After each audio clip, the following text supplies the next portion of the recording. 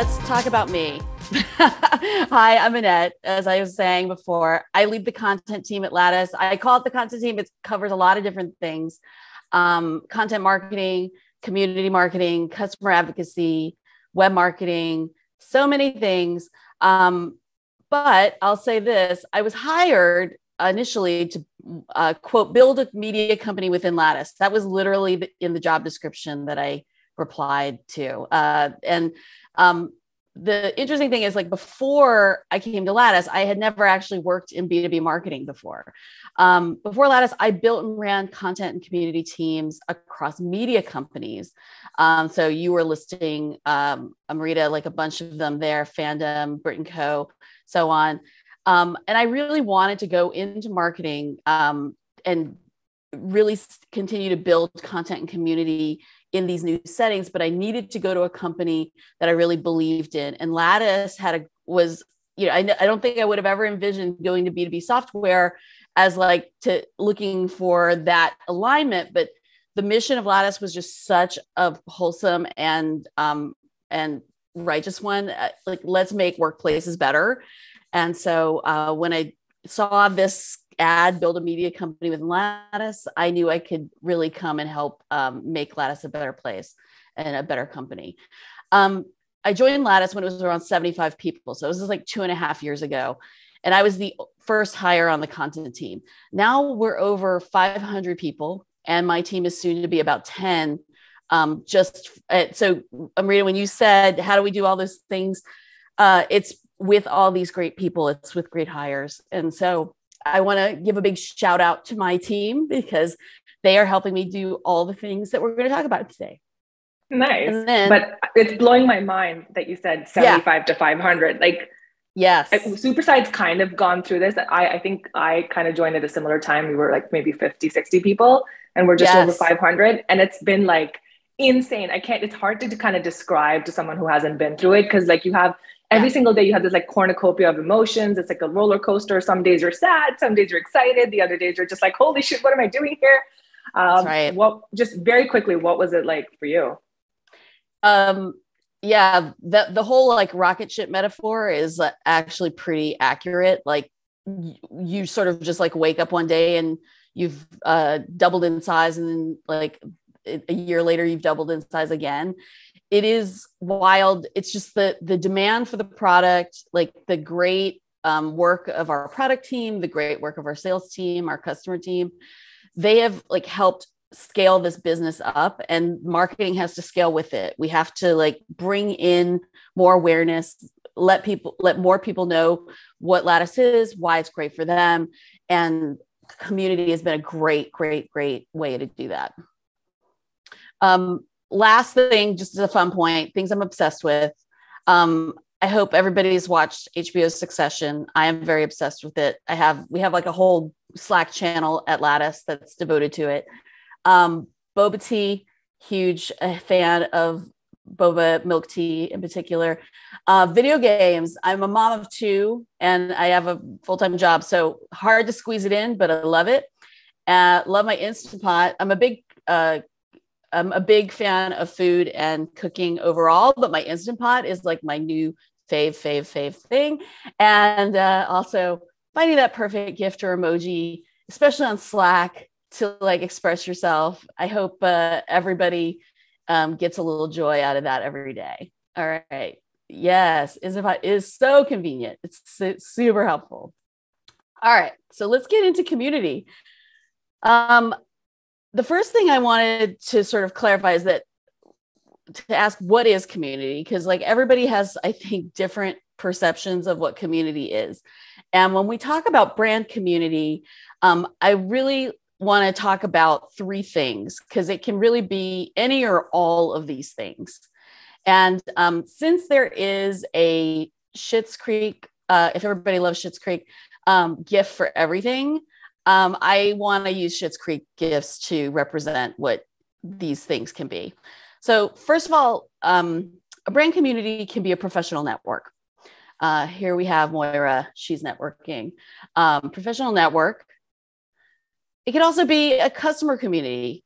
It could also be, or it could singularly be a customer community. And here is David thanking you so much for being part of it.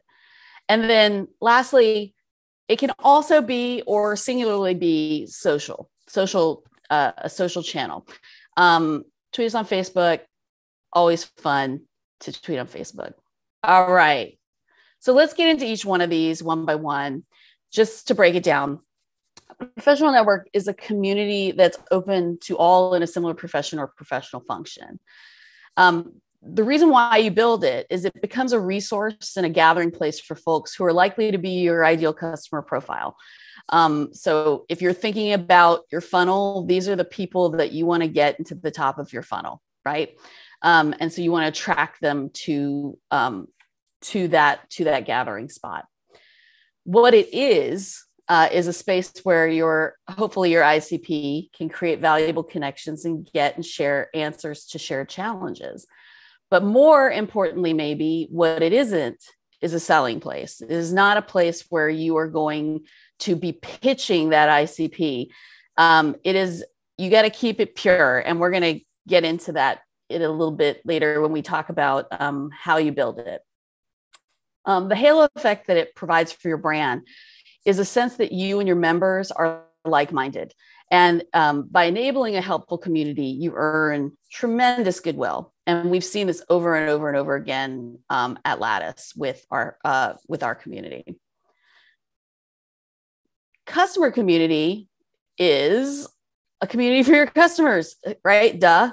I mean, but um, it's it's pretty key to like understand the difference between those two things, right? Um, why you build it is bring together those who love your product and let them share stories and exchange ideas for what your product enables. So, um, whether it's how they use it, um, what effect it creates for them, um, creative ways they're using it that you never thought of before. Um, that's why you build it. Is uh, and then you can showcase those things. What it is is a space to help customers feel like they're part of something bigger versus just being a buyer. Um, this makes them feel like they're part of a group of innovators um, and it highlights the way that they utilize your product to be innovative. So, what it isn't though is a customer service support channel or complaint channel. Um, you have other hopefully really capable channels for this. Some folks do use their customer community to allow folks to get help and support, but you don't want it to turn into that. Um, because really, what ends up happening is um, it takes over everything else that you want to get out of the community and just becomes that one function. You want to use you know other channels like zendesk and so on to like really tackle those customer service issues and questions um, and complaints. You don't want it to take over your community. The halo effect it has for your brand ability to retain highly engaged customers who can then become advocates um, also, you can gain ideas for the best uses for your product and even how to improve the product direct from customers. So, really valuable insights um, and really valuable direct connection to your best customers. Now, social community, hopefully, everybody who is in marketing on this call is already using this form of community. But if you want to think about it as a community and not just a broadcast channel, um, a community on social rallies around your brand message through social channels. And you want to create a lot of connection points within your social channels to do that. The reason why you build community on social is you can bring together those who want to stay up to date on what you're building your thought leadership etc and like actually create conversations there what it is is a space to extend your brand and uh, content message. Oops sorry about that typo and re-engage followers. So you really want to like create like this up to date moment and time of engagement with your with your community. What it isn't is an aimless feed of anything and everything. It shouldn't just be a broadcast like uh, feed. It needs to really feel like um, a place where someone's at home, the lights are at home, someone isn't going to engage with you and share with you, and you can, and folks can connect with each other across a shared passion for your brand. The halo effect is obviously it helps you reach wider audiences and helps you helps them see your brand's value And uh, so if you have all three of these in some way, um, that was that was the goal for us at Lattice. And I'm going to get into how we do community at Lattice next. Um, it can really help your brand. And I'll talk to you about how each of these things feed into our community at Lattice. The first thing I want to address with how we do community at Lattice is that we actually have a separate brand for our community. So this is the Lattice brand. Um, we're a software company. We are the people success platform. We have tools, workflows, data analytics for HR leaders to build better cultures and um, influence business outcomes. Great. But Resources for Humans as a community has a separate brand. It's a it has a different name. First of all, we're not the Lattice community, it's the Resources for Humans community presented by Lattice. It is a professional network that brings together like minded HR professionals who believe the best way to impact business is through its humans. So we want to create like this rallying point, right, for folks who have this have similar goals, who have similar aims for their HR teams. So why create a separate brand for your brand community? Um, uh, we're going to actually get into how we vet them. I just saw Amrita, you have a question in in uh, in a moment, but yes, we're going to talk about um, the importance of vetting uh, folks into the community for sure. Um, j- real quick, I'll cover off on like why we create the separate brand. Um, for one, for members and the mix of prospect of, and customers that are in our community, the community can feel separate from the selling experience. Um, now, we do use this, we do use resources for humans as a touch point that um, sellers can use um, as in outreach to open up conversations with a value add. So membership into the community doesn't feel like something a product that we're selling, but it does like create an open door, a new open door for a seller to reach out. Um, but we do want to create this sense that it's separate from the selling experience. And then separately, members can feel ownership and pride in the community without feeling like they're marketing lattice. And um, so it really feels like I'm part of something bigger than the software that I'm likely going to buy because I feel great alignment to what they do. So there are actually a few ways we can uh, a member can participate in resources for humans. So we have a lot of different inroads into being part of the community, being part of something.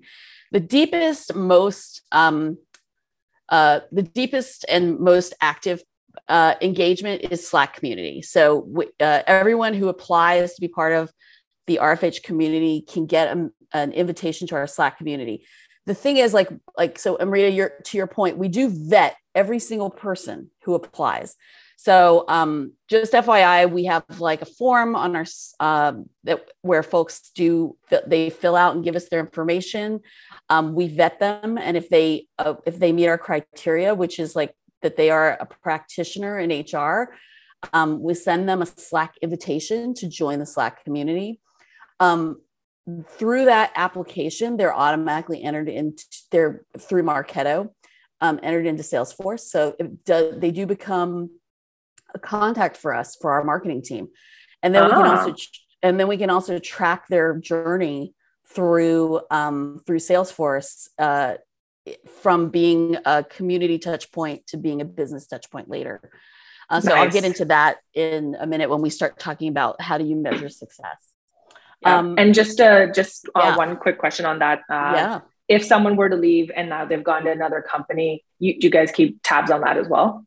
Yes. So usually what happens is if a member is really eager to stay in the community, um, even though they're moving companies. In some cases, they may be moving roles. We've had some people move into consultancy, for example. Um, they can usually reach out to our community manager and, and ask, um, hey, I want to move to this other email address. Like, can you transfer my membership and so on? It usually works out just fine. Or they can reapply um, if they forget you know, and um, they can reapply and get back in. But it's pretty easy. Um, but it is a ton of work on our part because we definitely know a lot of communities that don't vet their members. Um, but our community has been really adamant that they would like to keep it pure. so mm-hmm. um, they do like that safe space um, yeah. of like having common um, folks that share their challenges, not um, not likely like other uh, functions that don't get their their whole thing. yeah, um, and especially given that it's yeah. HR, there's tons of sensitive topics, right? That exactly. they're probably discussing. Exactly, and they're very open and frank in the conversations on the channel. Um, so, so like having a real practicing HR folks in the conversation with you is actually really important to them. Mm-hmm. Um, it, and they respect that that safety. Um, RFH Weekly newsletter is another way that you can engage. So a lot of folks that sign up that are uh, admitted into the Slack community automatically uh, are signed up for the newsletter. But there are people that if they don't want that really like um, volatile, fast and furious like conversation that happens in the Slack community on 24 seven, um, they can also just participate via the newsletter and get updates and get information and get all the benefits of these other things that are part of the community get into their inbox. We also mm-hmm. populate a, a, part of our site um, on Lattice expressly for RFH members called RFH Magazine. And it's literally just a feed of content that we think is most relevant to that professional community of HR leaders. Um, we also hold RFH events so we publicize these on LinkedIn and other all of our social channels. So this is another way in to the community. If you're if we're doing a meetup, um, an RFH meetup of uh, you know um, employee experience professionals as an example. They anyone who's an who's part of that can join in to the conversation. That you don't have to be a member of RFH to join. Um, but for RFH mentorship program, um, you do have to be a member of the Slack to join that. So this is like a what we noticed is a lot of like junior folks um, were joining the community. There are a lot of senior folks um, who they want to get access to, and vice versa. Like the senior folks want to help more junior folks. So we actually started pairing them up in a mentorship program, and we created a whole series of um, activations for them, and it's been a great success. We're going into our third cohort of mentorship on RFH. Um, and then also our job board, obviously HR jobs for HR folks, um, RFH database.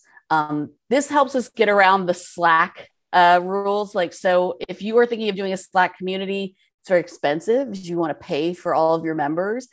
Uh, the free version, um, it deletes a lot of the content as you go.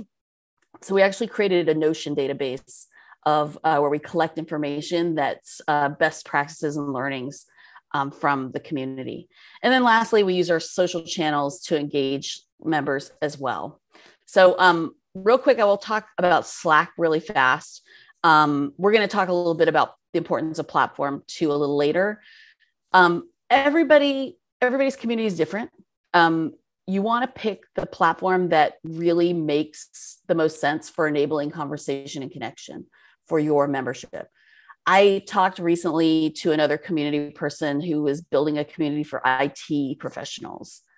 And they kept trying to make Slack work for them. And Slack just did not work for that community. Like people were, it was just like a dead space. Like nobody was having conversations. No one was like really like tuning in. Um, but then they built out um, later uh, more of an asynchronous uh, forum community. It was super active then. So think about like what platform makes the most sense for your community to enable conversation and connection. And Slack is definitely that for us. And the HR leaders are very on board with having those conversations there.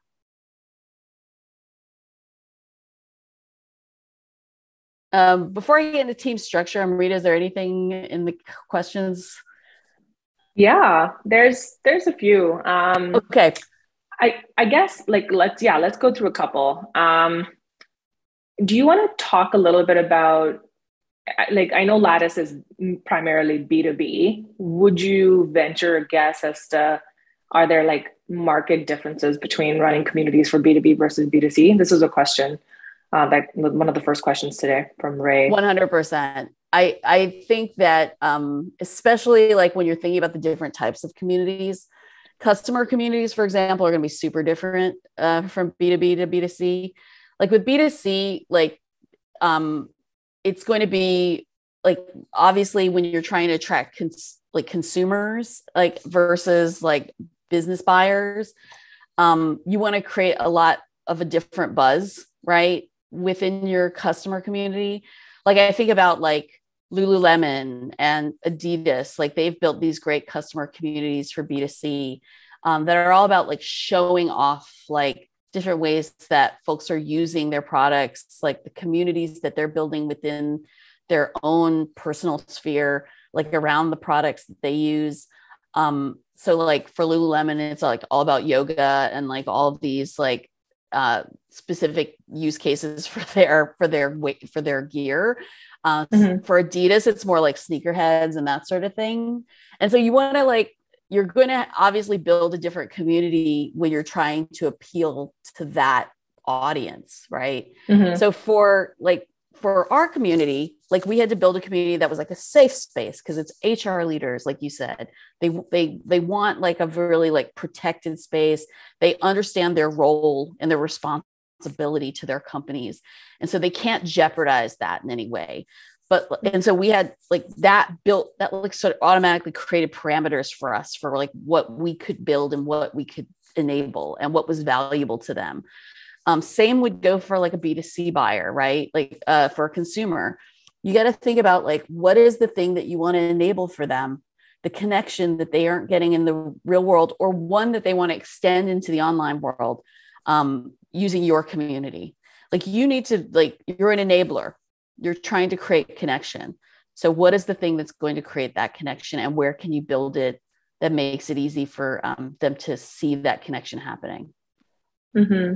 That in your, yeah, no, for sure. I, I mean, I, I, I also kind of think of it as, I mean, granted, I haven't done this before, so take my take my word with a grain of salt. But I, I almost feel like when you when you set up community for consumers, they are in charge of their entire life and their entire workflow, and so the decision making process is quite different than when you you know you're doing this for somebody who has all of these roles that they're playing and all of these hats that they're wearing and their allegiances to themselves like they want to grow but their allegiance is also to the company and the people that they support in their company.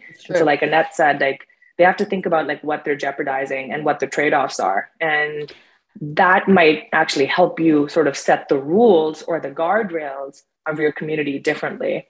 Um, i mean lululemon com- anything probably goes. I mean all communities are built around passion right? And like when i built community mm. at fandom which is like a very B2C community. It's like um, all people who are passionate about pop culture. Um, you have to build it around passion, right? So, professional network is a passion around the profession that you're, the job that you're doing, and like the passion for like wanting to grow your career. Um, whereas, like an Adidas community would be more about like the passion that you have for the sh- for shoes, you know, for sneakers and um, it may be around design it may be about athleticism but there are different passion points that you want to tap into because um, people will go nuts on the things that they're passionate about. And that was something i saw at fandom. Like people will create hundreds of pages of content on a wiki about you know marvel. And so it's um it's always like about tapping into the passion. If you can't tap that passion if you're just trying to like that's why the selling is so important to keep out of the equation. If they're not passionate about your product and you're trying to force like your product into the conversation around HR like that's not great. But if they can organically get to that point like we're building a lattice channel within the community now but it's a space that people choose to enter into um, and they're really passionate about talking about lattice, then great. Like, come mm. on in. Let's like mm. let's rally around that. Mm-hmm. Um, one attendee has asked a similar question, but I, will I'll just turn it into something slightly different, which is okay. how do you?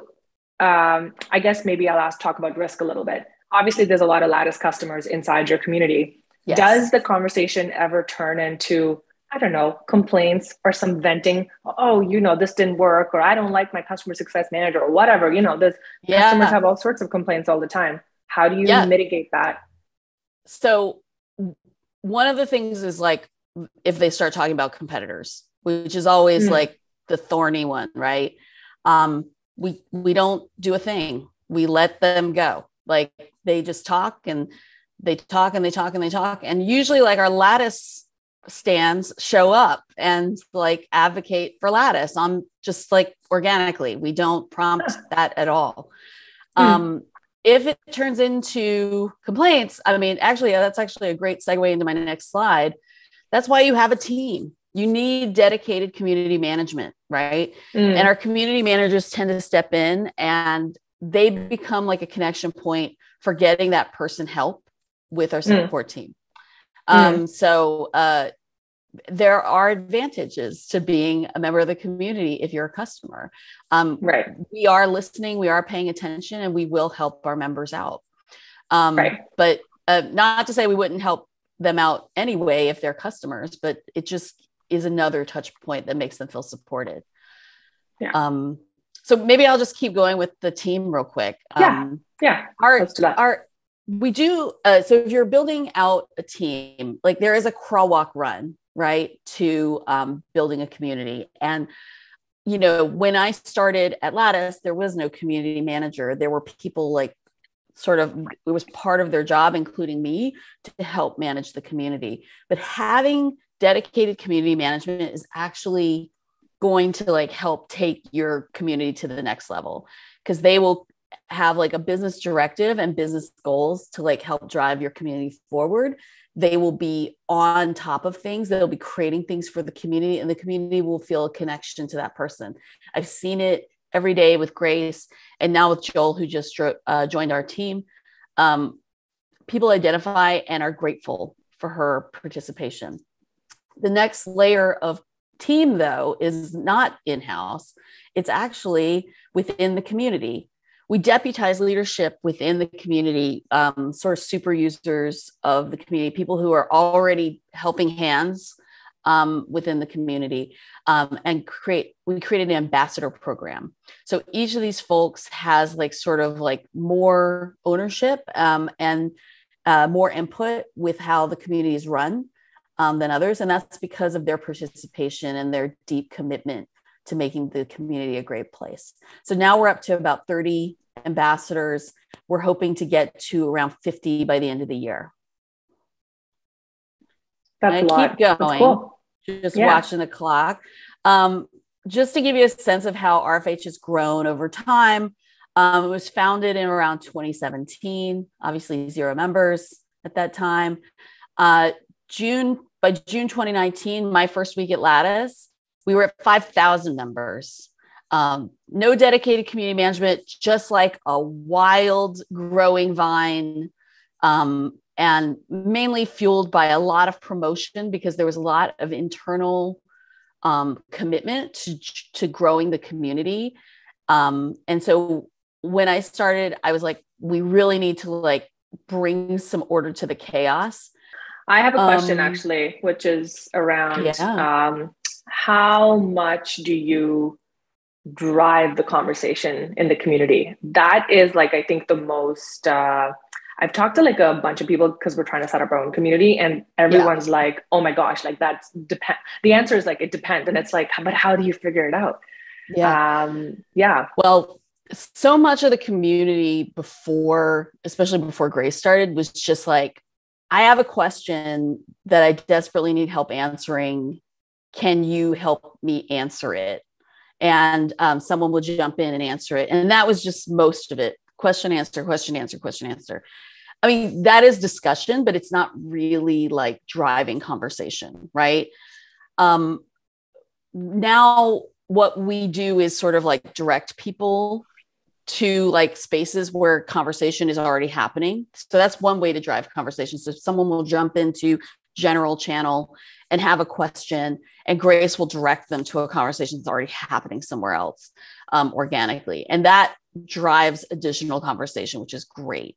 there's also like things like Tuesday topics and these sorts of like conversation starters that Grace always feeds into the channel at least once or twice a week. There's also things like about like brags and wins that are, happen on Friday. Um, all those things really help create a sense of like, I'm part of something. There's like a bigger conversation happening here than just my question that someone answered. So um, I would say it's like 60 40 organic to driven conversation.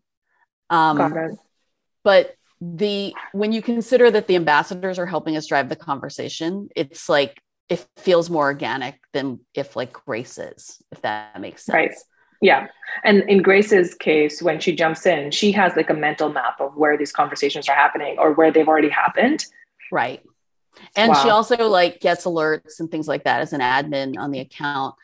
Um, and she tries to like use announcements at the end of the week or the beginning of the week to highlight conversations that are happening as well. So that also right. uh, enables like more participation.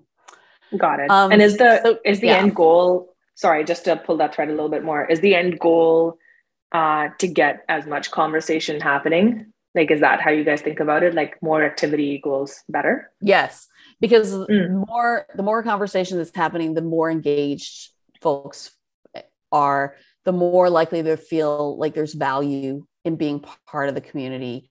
Like, I'm getting something out of this on a daily basis. Um, and it may not even be something that you were thinking about when you came into the community that day, but it later in, you know, by the end of the day you've like actually participated in three other conversations and you're actually thinking about new things for your own team or your own program. Got it. Yeah. great thanks. Um so you know from june 2019 to january we grew like an additional thousand members but then when grace started like she was actually like charged with how do we grow the community faster and make it more engaged and make it feel more alive and vibrant.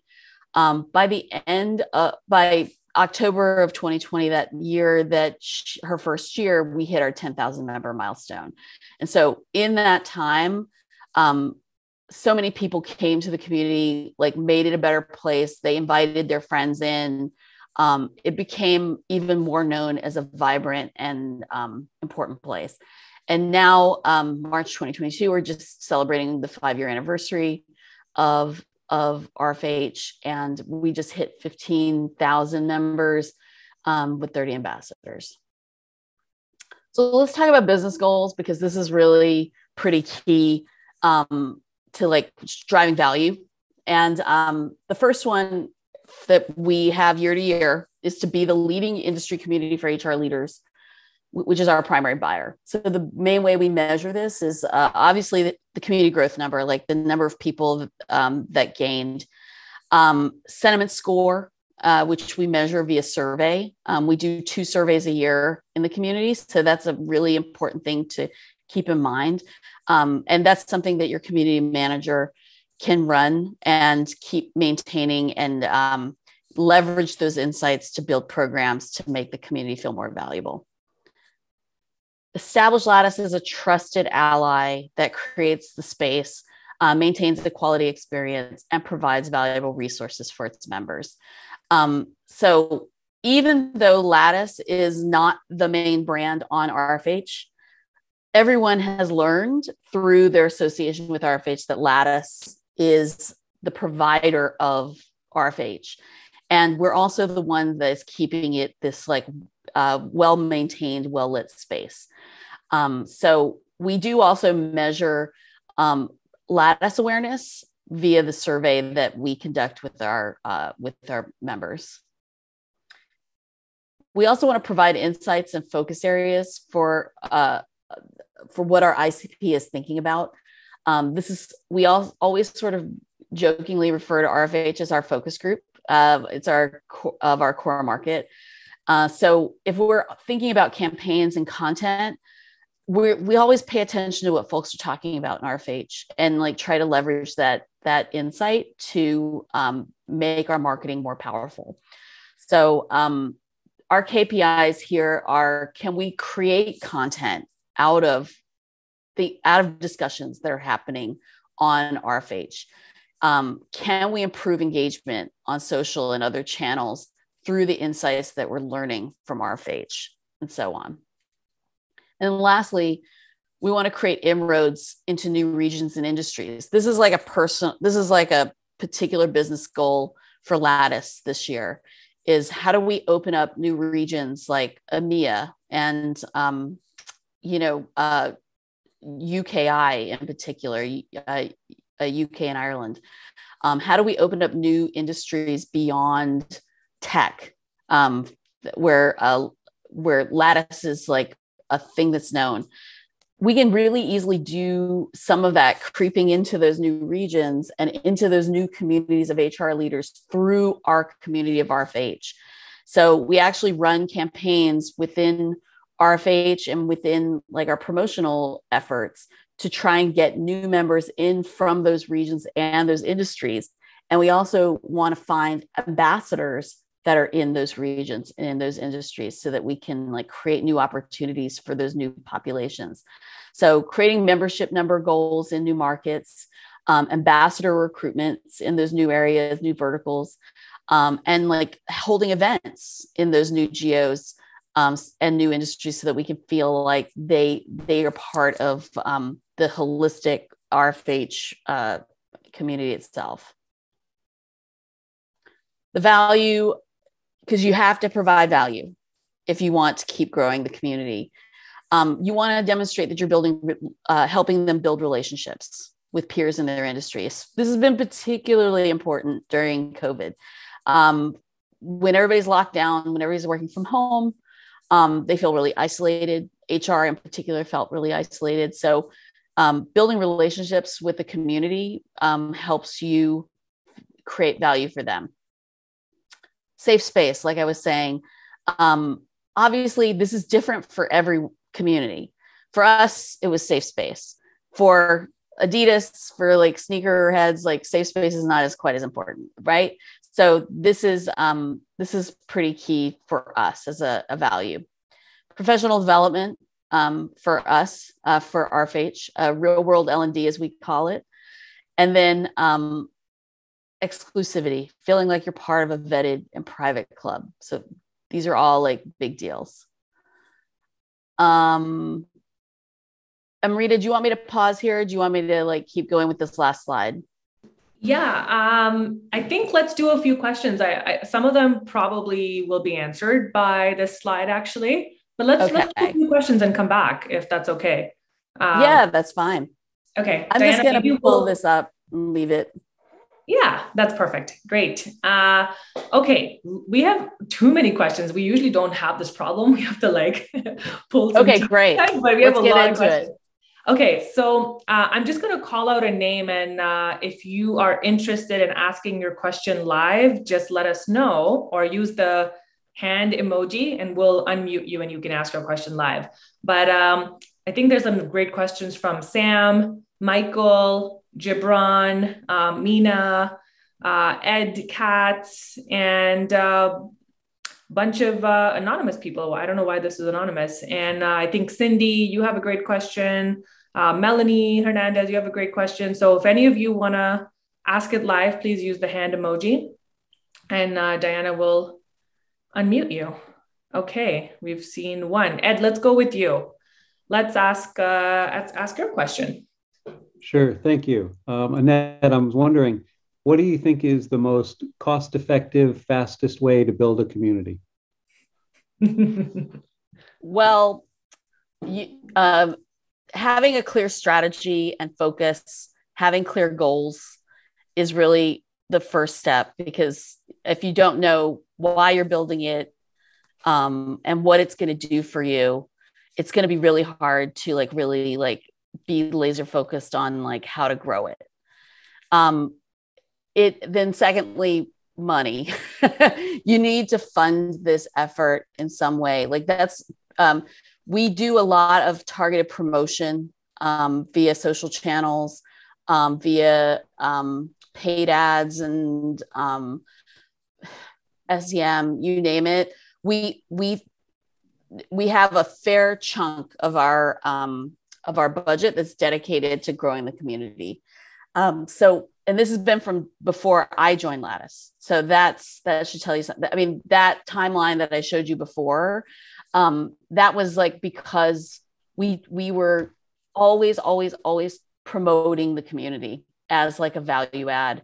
And when you have that laser focus and you can apply it to a promotional strategy, like that's just a great, great way to do it to like create that um to create that space quickly, hopefully.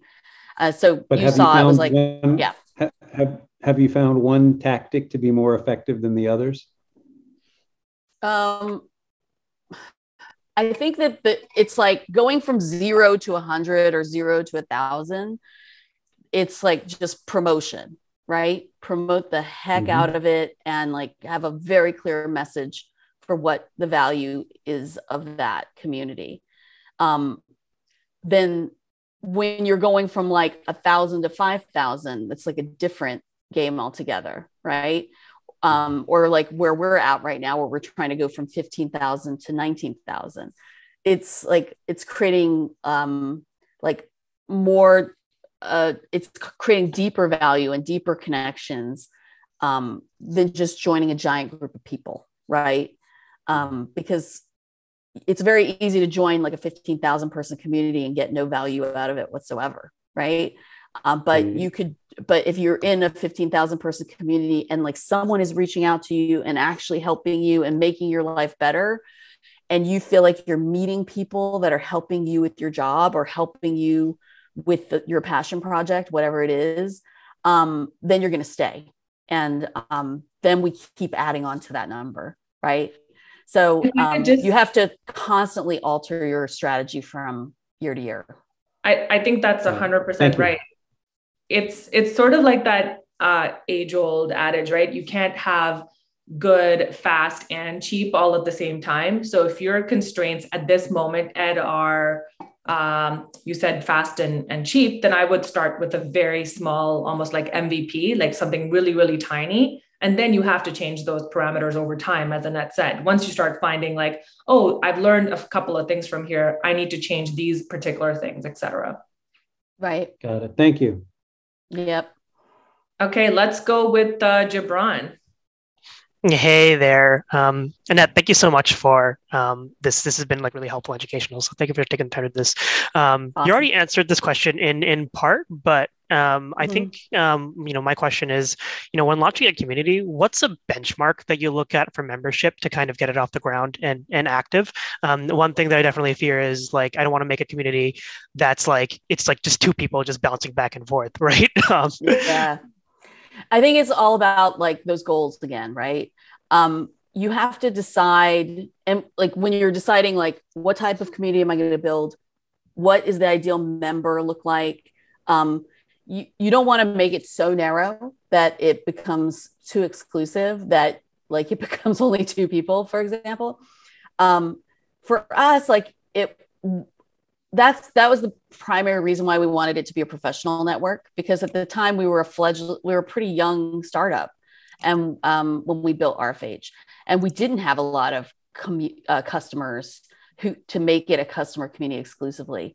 But if you can um, create like a vision for a, a, mission for your community that's broad enough um, but then also has rules for like what um, is considered productive in the community um, people will respect that and also like see more value out of like that those limitations but at the same time you can see that it's a big enough canvas right for a lot of uh, i'm mixing metaphors i'm really sorry um, but it becomes a bigger space for people to join in and like feel like they're part of something that's a little bit vetted, a little bit special, a little bit safe.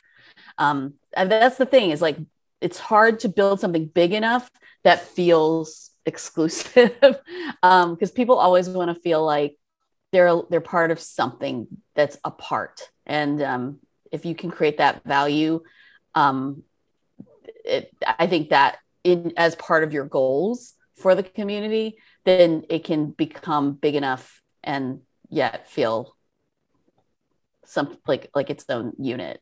I hope that's helpful. I'm sorry. I'm like not that wasn't a super articulate answer, but you're thinking on the fly. That makes sense. Yeah. Um, I have a question that Mina has also asked here, uh, okay. which is you you mentioned these brand ambassadors, which I mean that's the dream, right? If you can have a ton of people to spread the gospel, but how do you find them, and what is how do you design like their commitments and perks and things like that? We have a we um we so for everything we do, whether it's for how you participate in the community and for like how you meet the bar of ambassador, um, we have rules. And I mean, I think I'm just gonna like actually flip through to this slide really quick because this is really like key. I'm just gonna go through all these one by one. Oops, sorry. You want to set goals. You got to select your platform and your tech stack. You do want to designate some sort of hire at some point, designate or hire a community manager. Setting rules and community guidelines is so important because that is um, that is your way to keep it a, like a, a, a well maintained, well lit space, right? And the same goes for how you pick your ambassadors At lots of folks, because of the level of um, activity the ambassadors are doing within our community, lots of people now apply and want to be an ambassador, which is a great problem to have. But um, it's because we set a bar, a really like it's a high but but reachable bar um, for becoming an ambassador. We get the best folks that we can we set that bar high from the start. And when we started the program, we only had, we set a very reasonable goal of five ambassadors, right?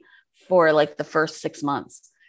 But we always also already knew that there were at least three people that were hitting that bar and surpassing it. So once you get five people into the program and they start like actually doing more within your community, more people want to rise to the occasion. So the, the that high bar that you set is sort of key to like not just like getting the best, but also pushing folks to want to be the best, right?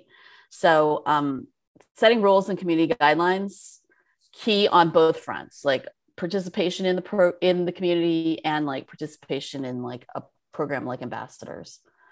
Um, so I've already talked a little bit about got to dedicate budget and resources to promote and grow the community.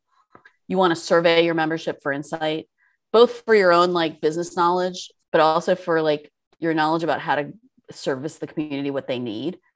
Um, identify and invest in your most active members, um, and then adapt and revisit performance. So um, that key of like what it takes to go from one to 500 is really different. It's just like customers going from one to 500 customers is really different than going from you know than going from 2000 to 4000 customers mm-hmm. it's such a different process mm-hmm.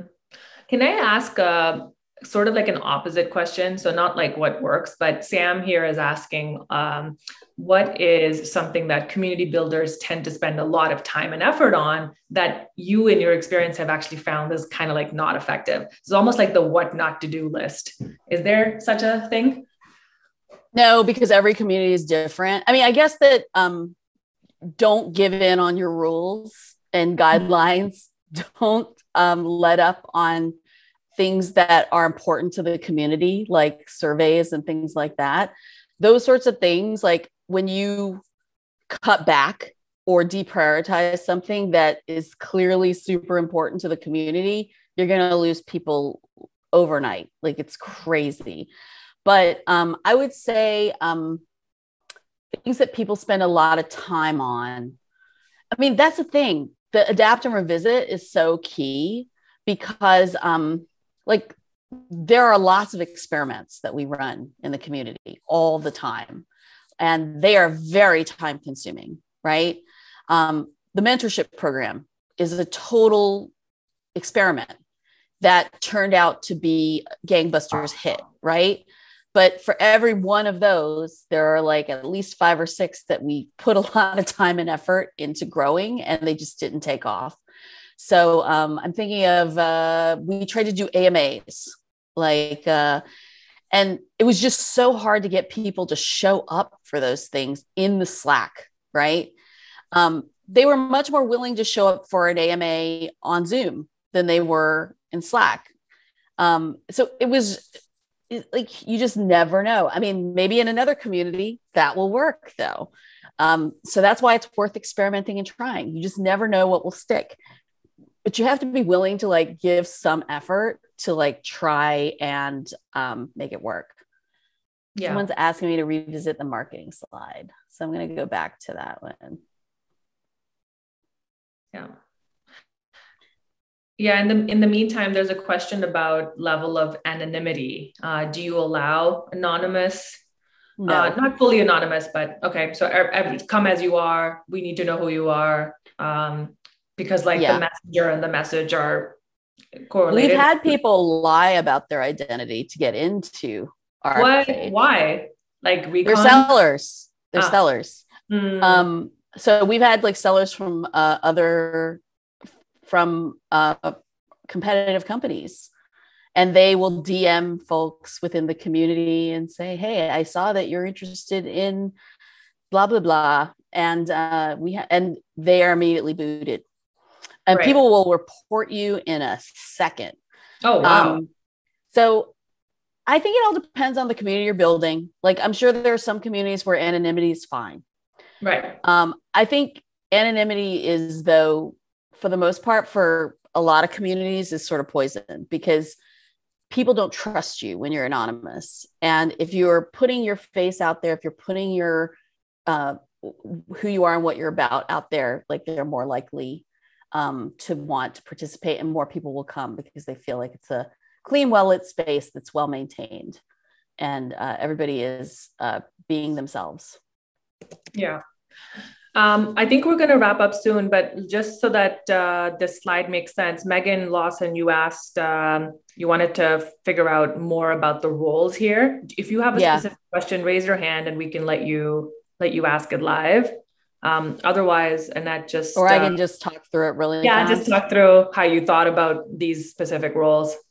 I just want to be really clear that for us, community is across all these efforts Community plays a, at least a, a, a small to big role across everything we do in marketing.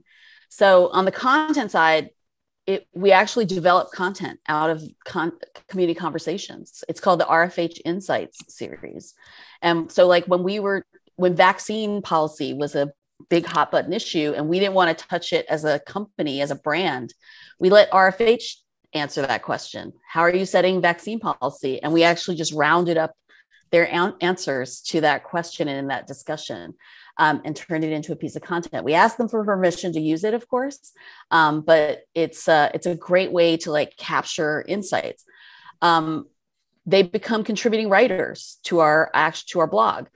Um, they answer topics that we are curious about. So Tuesday topics are usually things that we as a marketing team are curious about knowing more about. So like internal mobility and HR policy, comp policy, we ask that in Tuesday topics. And then survey subjects for um, like we leverage the con uh, we do like a lot of surveys and research throughout the year and then rfh becomes part of that research pool um, on the product marketing side our community members, especially the ones that are customers, are some of the best uh, insights insight providers for product development. So some of them will ask them directly, "Hey, would you be open to doing a, an interview with our PM?" Um, they also we listen in on the conversations about our competition.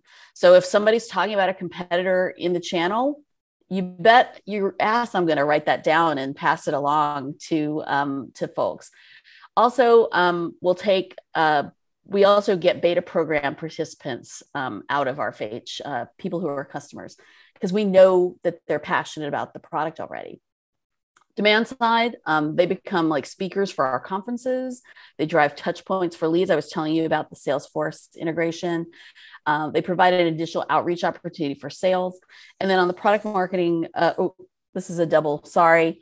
Um, lots of stuff here. I think this got doubled uh, when we were uh, creating the slides. So uh, hopefully that's not too com- confusing. Product interviews, competitive intel, alpha beta program. Hope that's helpful.